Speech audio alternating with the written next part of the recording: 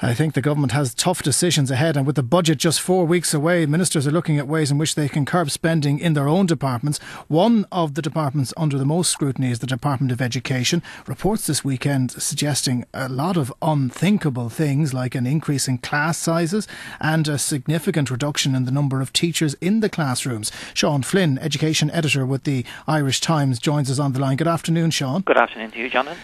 Um, I'll tell you the one thing I am happy about is that the sod was turned on my son's new school about three months ago, which means it should be ready for next year. Because if they were waiting that extra 12 months, that school and many more like it around the country probably wouldn't be getting the green light. No, indeed, uh, because uh, I mean I don't think there's going to be too many JCBs going into school schoolyards, uh, and uh, there won't, won't be much many sods being turned in uh, over the coming months and years, Jonathan, because Ruairi Quinn is under ferocious pressure to achieve savings. I mean, just to, to give you a bit of context here, he's working with an overall cake, as it were, of education of about nine billion, which seems like a lot, but about close to eighty percent of that is absorbed by teacher pay and pensions for everyone in the education sector, and of course that's all ring fenced. He can't go near that because of the Croke Park agreement. So he's basically got only about twenty percent of that.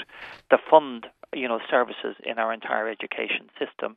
And he's been saying, as you know, at various conferences that Ireland is in receivership, that he's going to deliver real and substantial savings for his friend and colleague, as he describes him, Brendan Howlin, and for the Minister for Finance.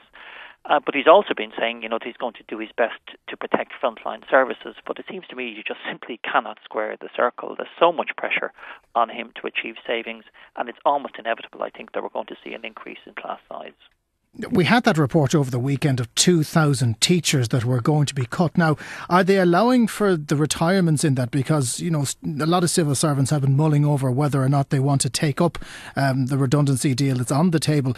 Does that 2,000 figure limited to that? Well, I mean, just to, just just to explain this, I mean, there's no question. There was some headlines over the weekend that 2,000 teachers and what have you are going to lose their jobs uh, or, or be made redundant or be sacked or whatever. Nothing like that is going to happen. Nothing like that can happen again because of Croke Park, because that says that there can't be any redundancies at least until 2014. So what's going to happen basically is that I would say it perhaps a thousand, perhaps 1,500 teaching posts will be left unfilled, Jonathan at both primary and secondary level. Basically, what he's going to do is increase class size, probably from from you know, it's now 1 to 27 in primary schools. It's going to be 1 to 28.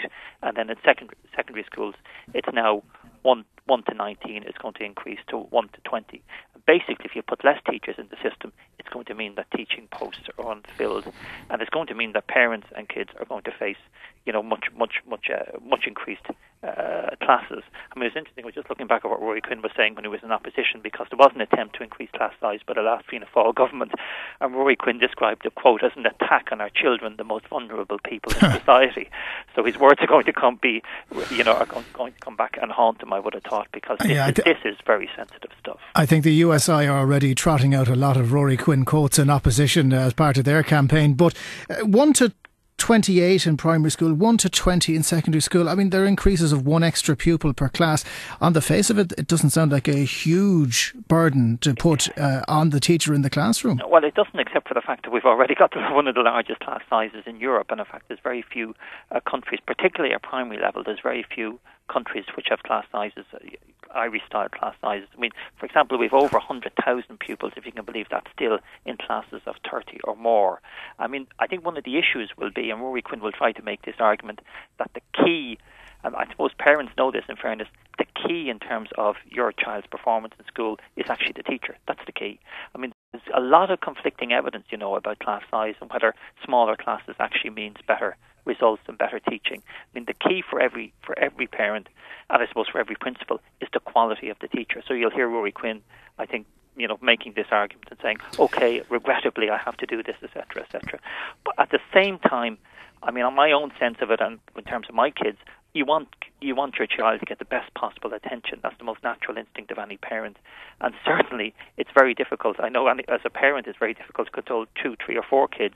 I mean, the whole idea of having, hmm. of teachers having to deal and having to cope with larger classes, I think, will make a lot of people worried.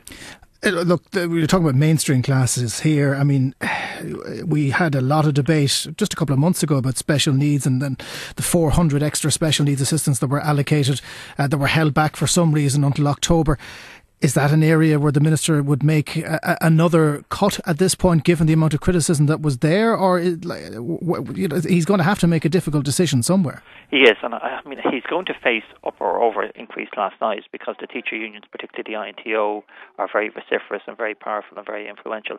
I personally think he can actually probably just ride, just about ride out that storm. I'm not so clear, Jonathan, that he can do it on special needs. There is no more sensitive the two most sensitive words, politically sensitive words in all of education, maybe apart from third level fees, are special needs. It's massively sensitive. Um, I think every parent in the country who has a special needs parent, uh, special needs child, and everyone who doesn't. I mean, I think there's a natural sort of Irish sense of let's protect the weakest, and the special needs kids are the most vulnerable out there. Now there's a sort of a, you know, uh, the bean counters are out and they're looking at the number, the cost of special needs assistance, and they're saying perhaps sh- something should be done. But my sense is that any move by, by Ruairi Quinn, any move to in any way compromise special needs or to cut into special needs provision, that's the most sensitive political issue. That's a real time bomb, and that's the one that would give more give him more trouble politically, I think, than the increase in class size. Sean, you mentioned the unions there a minute ago. We were talking to the TUI the other day when the junior cert syllabus was uh, being amended and the proposals were being brought forward for a pretty radical change within the next couple of years. Now, they didn't make too many ominous sounds about it, but the one thing they did say was that how is this going to be resourced? Where are they going to find the money for this? So, something like that, that is an ambitious plan, it's hardly going to be cost neutral. So, why are we embarking on that? Well, I, he's hoping that it will be cost neutral. But I think something you have to go back to the fundamental of Irish education. And the fundamental problem that we face in Irish education, Jonathan, is that our standards have been dropping. And we had an OECD report last year, which was really dramatic, and showed us that, for example, in terms of literacy, our decline, we've declined from a ranking of 5 to a ranking of 19 in terms of our literacy levels in post primary schools. That's the sharpest decline, if you can believe that, amongst any developed nations.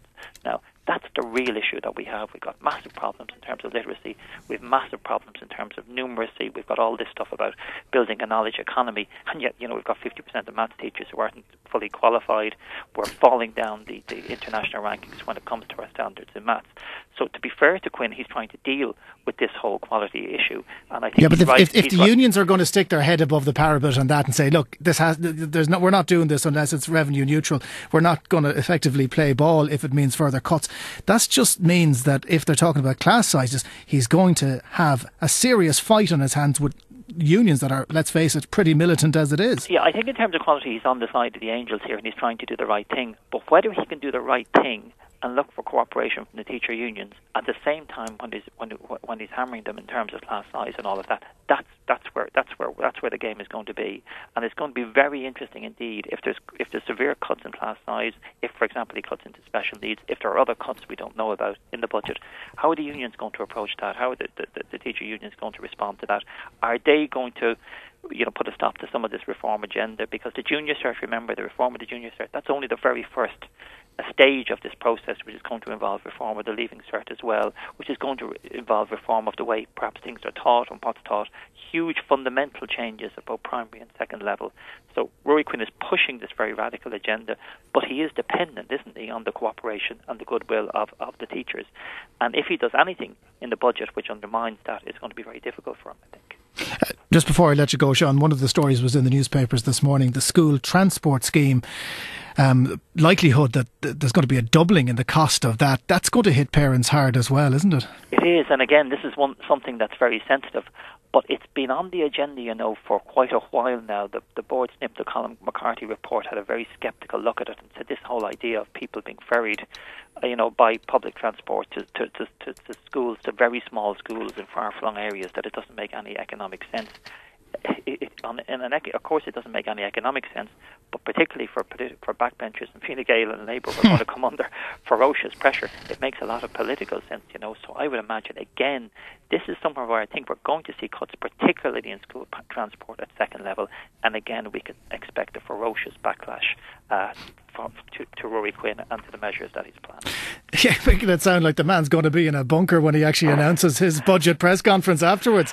It's certainly it's certainly going to be difficult for him because I think he's actually had a very good run in terms of education, and I think people have welcomed this very much a sense that he's a new broom, very much a sense that he's put his hands up and said, you know, he hasn't been a cheerleader for for the whole education service. He said, look, we've got serious problems here, and I want to reform and change things.